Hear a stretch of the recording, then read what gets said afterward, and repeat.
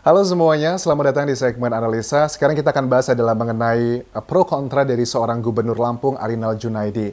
Ini ada komentar terbaru ya dari Pak Gubernur pada saat ditanya sama wartawan dari Metro TV yang bertanya, Pak, gimana Pak komentar Anda pada saat ada temuan dari teman-teman media massa di Lampung yang mengecek ternyata jalan uh, pemenang tender sejumlah perusahaan di Lampung itu mulai dari 5 miliar sampai 50 miliar kok alamatnya pada saat dicek itu tidak benar. Misalnya yang pertama adalah alamat pemenang tender sekitar 5 miliar teman-teman.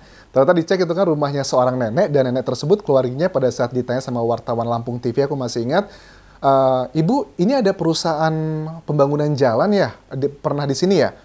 Neneknya bingung. Loh, saya tuh udah puluhan tahun tinggal di sini dan tidak ada tuh perusahaan sama sekali dikatakan bahwa memang benar dulu sempat ada gitu uh, adiknya atau siapanya yang bekerja di sebuah perusahaan untuk membangun jalan dan itu kan juga bukan kantornya. Kenapa seperti itu? Dan sekarang yang terbaru juga sama ada beberapa uh, alamat yang dicatat pada saat di website dari pemenang tender tersebut media massa di Lampung ngecek ini juga yang terakhir ada menang tender itu per, uh, perbaikan jalan nilainya 50 miliar kurang lebih.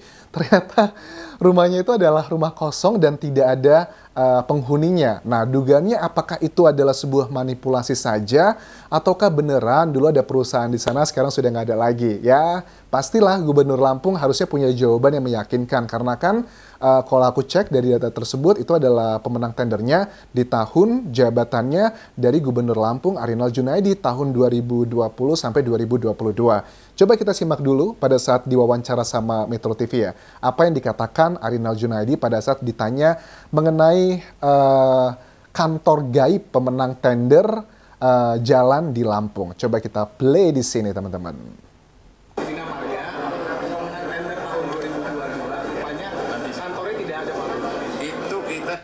wartawan yang tanya, pemenang tender 2022 dicek beberapanya ternyata kantornya tidak ada. Jawabannya apakah kalian cukup puas atau enggak? Kita coba simak. Sudah punya lembaga namanya BPK. Oke. Okay. Lembaganya kejaksaan, okay. lembaganya kepolisian. Jadi kalau ada hal-hal yang diindikasi itu, jadi jangan kita mudah mendahului praduga tidak bersalah. Tolong ya, kita jaga Lampung supaya tetap kondusif. Kita jaga Lampung supaya kita jaga Lampung agar tetap kondusif. Kondusifnya ini maksudnya apa? Apakah kondusif untuk dugaannya oknum-oknum melakukan tindakan korupsi ataukah kondusifnya untuk pembangunan uh, Provinsi Lampung? Menurut aku jawaban dari Gubernur Lampung ini walaupun uh, terkesan adalah smiley voice ya dengan senyuman. Kayaknya mungkin menjaga agar tidak terjadi seperti sebelum-sebelumnya.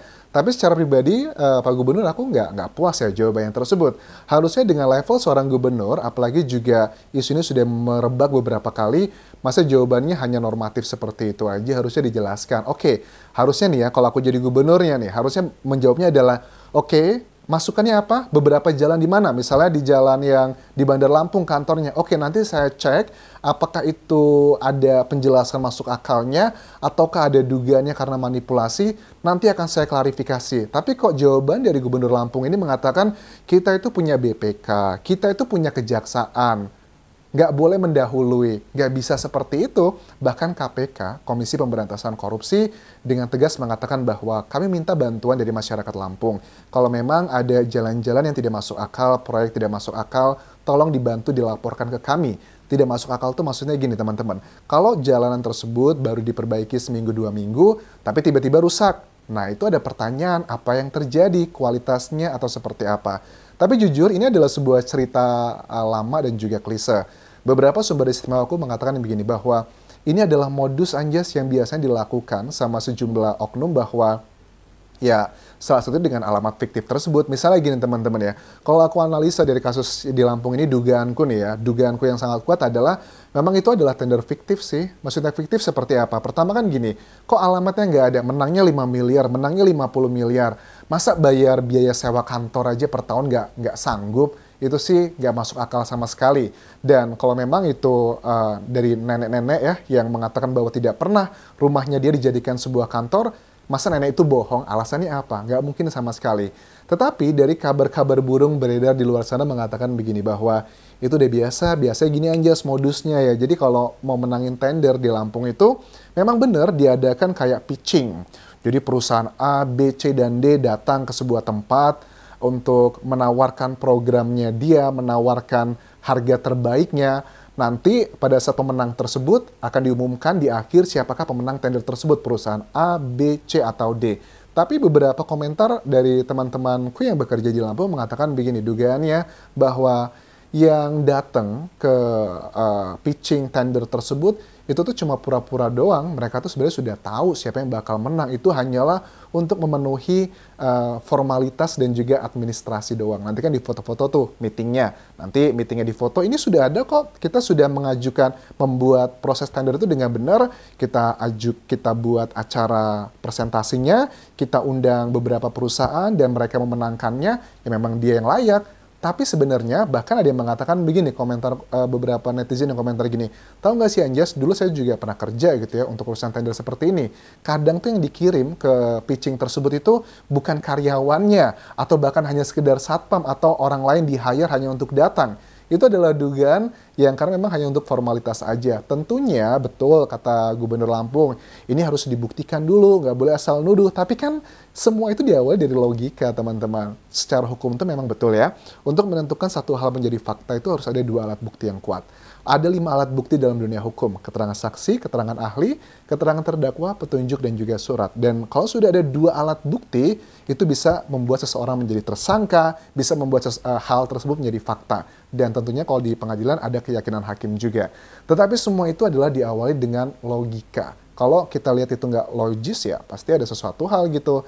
Tapi menurut teman-teman gimana nih? Apa yang sebenarnya terjadi? Apakah kalian percaya bahwa tender yang ada di Lampung itu sudah beneran terjadi. Lantas bagaimana dengan teman-teman uh, media lokal di Lampung yang menemukan alamat-alamat goib, alamat-alamat palsu tersebut?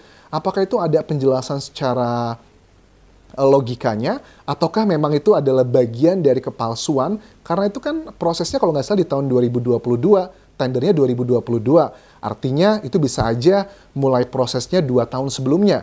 Mulai proses pitchingnya itu 2020, 2021 pengerjaannya, selesai 2021 dan masyarakat melihatnya kok yang di Lampung Tengah rusak lagi, rusak lagi. Nah, beberapa modus yang biasa dilakukan dari beberapa sumber istimewa aku mengatakan begini teman-teman, biasanya nih ya, kalau ada dugaannya perusahaan A yang memenangkan tender tersebut yang sebenarnya sudah kong kali kong harus memberikan upeti ke oknum-oknum tertentu antara 20 sampai 30 persen, let's say proyeknya 10 miliar. Jadi kalau 20% dari 10 miliar itu udah 2 miliar rupiah, nanti diberikan ke oknum-oknum tertentu. Pemenang tender A tersebut jatuhnya hanya sebagai maklar gitu, karena mereka pun tidak mengerjakan sendiri. Mereka akan memberikan pekerjaan tersebut ke perusahaan B. Nah, dari sisa 8 miliar tersebut, paling diberikan ke perusahaan B itu hanya modalnya let's say 6 miliar aja. Jadi mereka tuh jatuhnya hanya sebagai maklar. Dari 6 miliar tersebut aja, aku juga yakin pasti dalam proses pengerjaannya nggak semuanya sempurna. Makanya nggak heran jalan-jalan di Provinsi Lampung tuh ancurnya parah-parahan. Bahkan ya kita nggak bisa menutup mata memang ini terjadi bukan hanya di pemerintahannya Arinal Junaidi, uh, gubernur sekarang.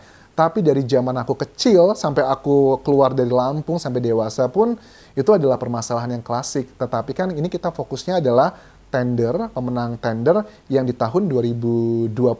Jadi dua tahun sebelumnya itu sudah terjadi pitching. Itu bagaimana penjelasannya?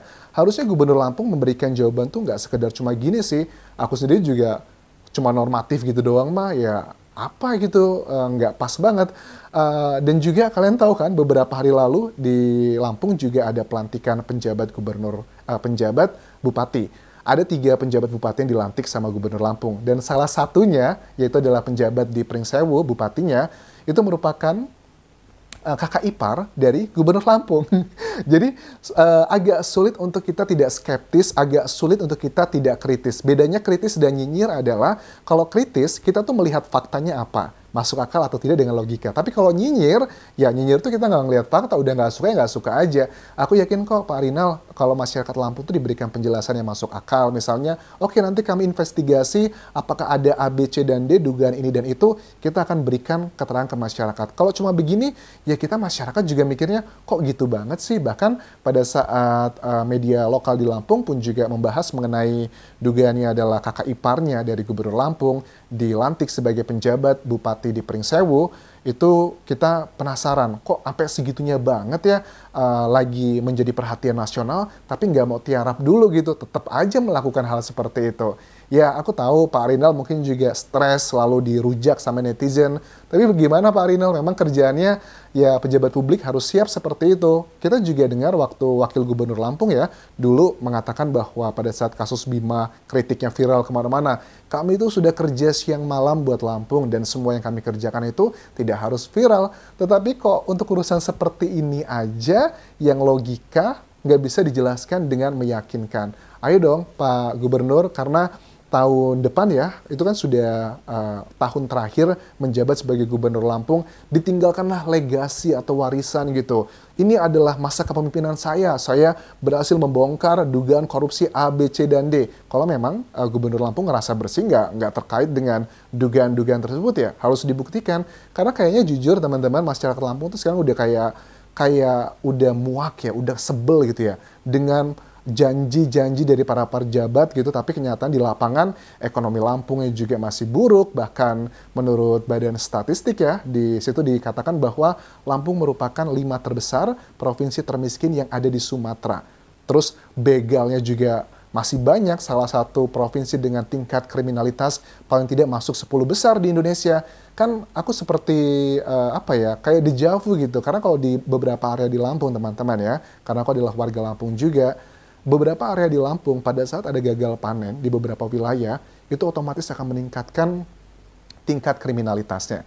Gagal panen kriminal naik, gagal panen misalnya uh, sawit, gagal panen uh, padi, gagal panen jagung dan sebagainya itu linear dengan kriminalitas yang ada di Lampung. So, thank you very much for watching this video. Terakhir tinggalkan like dan juga komen, subscribe channel YouTube ini, follow Instagram dan Facebook page Kodian Jasa Asmara. Sampai jumpa.